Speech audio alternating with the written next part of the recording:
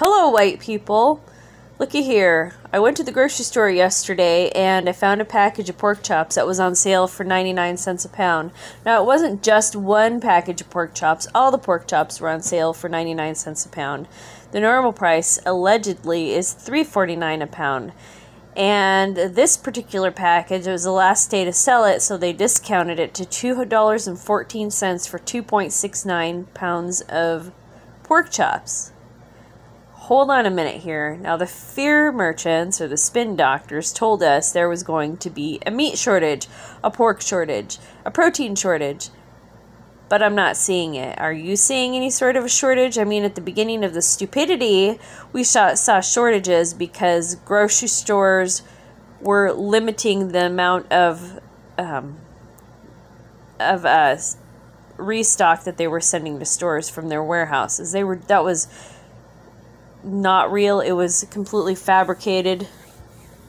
And um, we're going to find out probably that, um, you know, the toilet paper shortage or whatever. We'll probably find out that uh, Costco employees were told to take down the toilet paper and the paper towels and uh, and the uh, cleaning supplies there because there's no real shortage and uh, you know even over the or when was it? Last fall so canning season. So apparently we had a jar shortage a lid shortage all kinds of stuff. There's no shortage at all. It's just these people creating this fake shortage.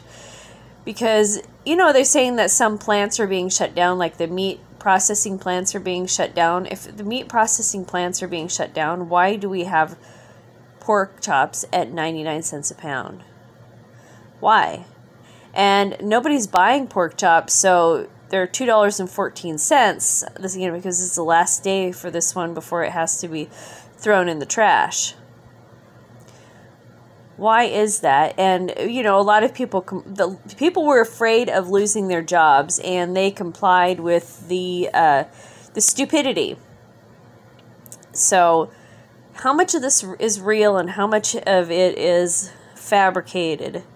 You know, certain kinds of businesses went out of business, like dance studios, just fluff kind of businesses, not essential places like meat processing plants. There was, there's been no shortage of meat from my observation, and I've been in, um, in several different states over the last year. So, what has your experience been? And also, um, I put up a new video on um, that channel that starts with a B and ends with a UTE. And uh, the last thing I'm going to tell you about, oh, and I'll put a link in the comment section for that video. It's uh, currently uploading. Um, and then um, I got busted by um, the gods at YouTube. You know, they were angry with me, so they put me in timeout for seven days. I got to think about my um, my sins. And uh, I uh, spoke against their god, who, their god's name is who. And anytime you say anything against who, then you know then you then you get put in a timeout, or I might get end up end up getting kicked off this platform. But you know, fuck those bitches. I was insulting um, the uh, the P is in pork, the C is in chops, the R is in roasted testing, and so that got me busted. so fucking what? I don't care. All right, white people. Thank you so much for listening. I look forward to your thoughts below.